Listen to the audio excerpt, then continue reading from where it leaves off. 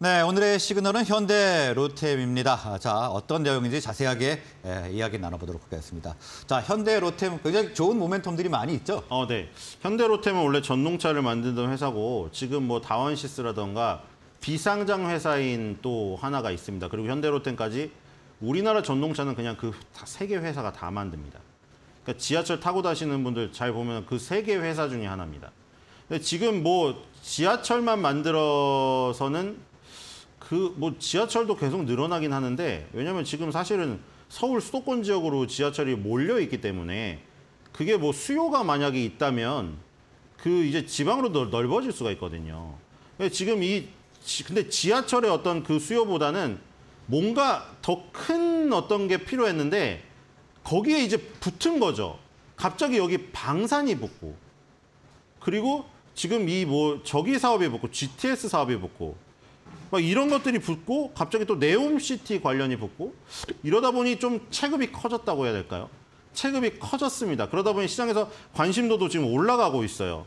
일단 방산 부분이 올해 완전 가장 어떻게 보면은 연말 이제 거의 연말이 됐는데 연말에 만약에 뭐 우리나라 주식시장의 어떤 분야별 뭐 시상식을 한다면 방산 부분이 뭐 그동안 사실은 약간 마이너리그 시기였잖아요. 방산이 있는데 분명 우리가 국방비를 지금 계속 올리고 있는 건 사실인데 사실 개인 투자자들 관심이 그렇게 크지는 않았어요. 방위 방위 산업 업체에 대해서 별로 관심이 없었는데 가장 증폭된 한 해였죠. 그래서 뭐 가장 무슨 뭐 주주들의 관심도가 올라간 무슨 섹터를 수상을 한다면 방산 업종이 될 텐데 현대로템도 거기에 이제 속하게 되었죠. 지금 폴란드가 지금 굉장히 우리나라 걸 많이 수입을 해가고 있잖아요. 네. 당장 지금 위기가 닥쳐와 버리니까 지금 미사일이 두 발이 실제로 떨어졌어요. 자기네 영토에. 그러다 보니 이게 이게 저기가 아니구나. 기후가 아니야. 기후가 진짜 현실이 되구나를 알 수가 있는데 현대 로템도 K2 흑표 전차를 폴란드에 수출을 했습니다. 지금 100여 대가량이 이미 나가 인상 나갔고요. 그 다음에 이제 노르웨이가 또 나옵니다. 왜냐하면 북유럽도 지금 이게 옛날 저기 자기 남의 일이 아니거든요, 지금. 핀란드라던가 노르웨이도 지금 북유럽도 지금 남의 일이 아니에요, 이게. 러시아가 무슨 짓이든 할 수 있다는 것이 지금 증명이 됐기 때문에 그래서 노르웨이도 이게 지금 핍 갤러라고 하죠. 아, 갤러 갤러 핍? 예, 그- 그게 넓어진 거예요. 개필러죠, 개필러.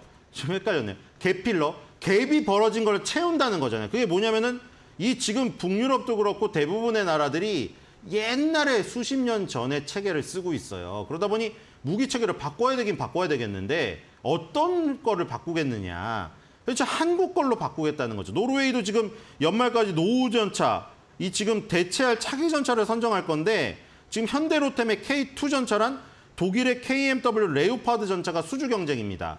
근데 뭐 여기서 약점이라고 할 수 한다면은 이제 K2 전차가 원래 우리나라 기술로 만든 거긴 만든 건데 지금 엔진을 독일 거를 쓰고 있어요. 그래서 우리 원전에서도 보시면 웨스팅하우스가 걸고 넘어지잖아요. 그거를 우리나라 우리나라 원전이라고 해도 이것도 지금 비슷한 형태거든요. 이게 네. 독일이 우리 엔진 썼다. 너 심장 안- 엔진은 심장 맞아요 안 맞아요? 하면 어 심장 맞습니다. 이래 버리면은 봐봐 심장 아- 없- 심장 없는데 사람이 움직입니까? 이러면서 심장이 우리 건데 하- 함부로 수출 못한다 이렇게 할 수가 있어요. 근데 그거를 이제 만약 국산화를 해버리면 이제 그 문제는 가- 그 문제까지 해결되는 건데 지금 현재 K2까지는 독일식 엔진을 쓰고 있어요. 독일의 엔진을 쓰고 있는데 어쨌든 폴란드가 만약에 독일이 그 전차 가격이 비싸기 때문에 우리나라를 택한다고 하면 폴란드에 이어 노르웨이까지 K2 흑표 전차 수출 모멘텀이 일어납니다. 자, 그다음에 빈살만. 지금 뭐 일본을 안 갔다고 굉장히 좋아하고 계신데 일본을 가려다 일본을 안 갔죠. 그러니까 이거는 한마디로 우리나라에서 얻을 걸 다 얻었다는 얘기예요, 빈살만이. 근데 이제 그거 있잖아요. 맨날 우리 뭐 거창하게 말했는데 뚜렷하지 않은 것들. 우리 좀 찌, 꺼림직하잖아요. 뭔가 거창해. 거창하고 파이는 엄청 큰데 그잖아요. 피자는 엄청 큰데 너한테 줄 피자 조각은 정해주지 않은 느낌 있잖아요. 그런 게 좀 찜찜하잖아요. 근데 현대로템은 어쨌든 간에 야 너한테 피자 조각을 이만큼 줄게라고 계약선 썼단 말이에요. 그러니까 지금 조금 조금 이제 윤곽이 드러난 부분은 있는 거죠, 얘네들은. 그러니까 원래 전동차를 만들었기 때문에 여기서도 활약할 수가 있는 거죠. 아까 폴란드에 K2 흑표 전차를 수출했다고 했는데 K2 흑표 전차 전에 현대로템이 먼저 수출해가지고 폴란드에 지금 다니고 있는 게 있어요. 폴란드의 트램이 현대로템 거예요. 네. 우리나라엔 현대로템이 별, 아니, 현- 트램이 거의 없는데 외국은 트램이 많이 있잖아요. 자동차 길하고 옆에 같이 다녀요. 그 트램이 폴란드에 수출되어 있고 지금 사우디 네옴시티에서도 이미 MOU를 체결했는데 거기 내용이 245km에 달하는 철도에 투입될 고속철 480량 그리고 메트로 전동차 지하철이죠 이거는 160량 그리고 전기 기관차 120량을 공급하겠다는 내용이에요. 물론 MOU니까 실제 계약이 바뀔 수가 있지만 이런 계약을 어쨌든 윤곽을 가이드라인을 잡은 계약서를 썼다는 거죠. 그다음에 우리나라의 모멘텀은 GTX A 노선을 현대로템이 다 수주했잖아요. GTX가 A, B, C가 있는데 지금 A가 진행되고 있는데 지금 2020년 3월달, 4월달에서 처음에 120량, 두 번째 40량에서 GTX A의 이 총 160량을 모두 현대로템이 가져갔어요. 네. 그러니까 지금 이 모멘텀도 있는 거죠. 지금 3강 모멘텀이 있는 거예요. 전동차 GTX 모멘텀이 있지. 전동차랑이 조금 다르긴 합니다. GTX 모멘텀이 있고 그다음에 노르웨이의 K2 흑표전차 모멘텀이 있고 네옴시티의 그 깔아주는 모멘텀이 있어요.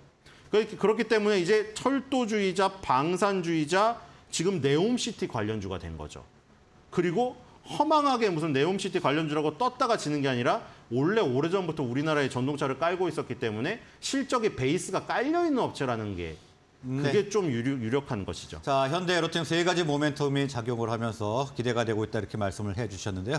자, 마지막으로 가격 전략 간단하게 좀 알아볼까요? 네, 일단 2021년에 고점은 돌파를 했고요, 한 번. 네. 2021년 고점을 한 번 돌파했다가 주저앉았고요. 그 돌파했다 주저앉은 게 2018년에 이 보시면은 갭이 있습니다. 상승 갭. 여기서 밀린 것이거든요. 이 자리가 또 3만 원 마디 지수대요. 만약에 3만 원을 돌파만 하면은 3만 5천 원, 4만 원을 갈 수가 있는데 이 3만 원이 일단은 굉장히 적입니다. 근데 거의 지금 다 있죠. 그리고 지금 마지막으로 지금 뭐 수급을 보자면은 이 외국인하고 기관하고 쌍끌이 매수가 나오고 있습니다. 네. 그리고 아까 투신하고 사모펀드가 지금 적극적으로 사고 있고요. 그러니까 외국인 기관 쌍끌이 매수로 저 3만 원 자리와 2018년 상승갭 자리를 돌파만 하면은 그렇죠. 갑자기 확 땡길 수가 있겠죠. 자, 3만 원 돌파 여부를 좀 체크를 해보자 이렇게 정리를 해보겠습니다. 오늘 말씀은 여기까지 듣겠습니다. 고맙습니다.